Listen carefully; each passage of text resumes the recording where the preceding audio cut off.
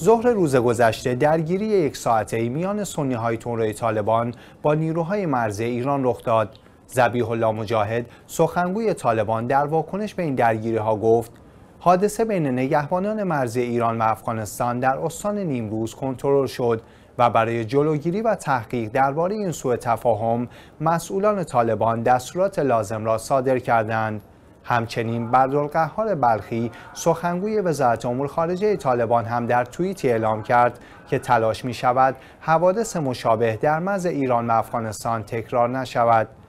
این مقام سنی های تونرو طالبان گفت درگیری با تلاش مرزبانان دو کشور پایان یافت بر اساس این گزارش ماجرا از آنجایی آغاز شد که نیروهای طالبان به دلیل تشخیص اشتباه نوار مرزی نسبت به تردد کشاورزان ایرانی در آن منطقه در نزدیکی مرز اقدام به تیراندازی کردند و در پی آن نیز نیروهای مرزبانی ایران به این تحرک طالبان واکنش نشان داده و تبادل آتش می کنند. به گزارش منابع محلی این درگیری پس از تبادل آتش میان دو طرف پایان یافت سخنگوی وزارت خارجه ایران نیز در واکنش به این درگیری مرزی اعلام کرد.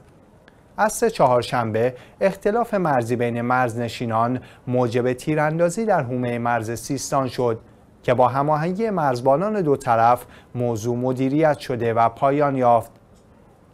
همچنین معاون امنیتی انتظامی استانداری سیستان و بلوچستان نیز در گفتگویی با آرام خواندن اوضاع در مرز ایران و افغانستان در منطقه هیرمند گفت درگیری سطحی بوده و به پایان رسیده است.